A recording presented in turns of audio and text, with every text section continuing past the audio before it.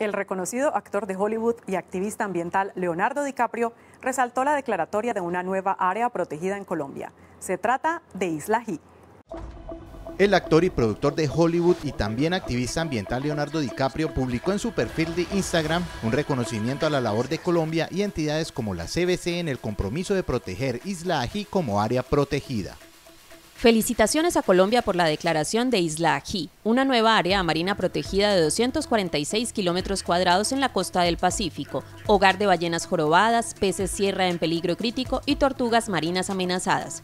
La protección de este increíble ecosistema costero fue un esfuerzo de equipo, liderado por el Consejo Comunitario Afrocolombiano Local del Río Naya y el gobierno colombiano con el apoyo de la WCS y otras entidades.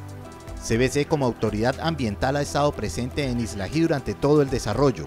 Es apoyo constante para las comunidades en todo el proceso de declaratoria y continuará siendo fuente de consulta y asesoría para conservar este magnífico ecosistema.